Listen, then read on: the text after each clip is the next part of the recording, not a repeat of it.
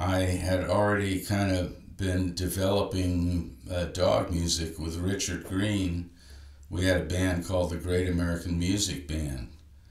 And we had uh, latched onto the concept that we could uh, make a go of it just playing instrumental music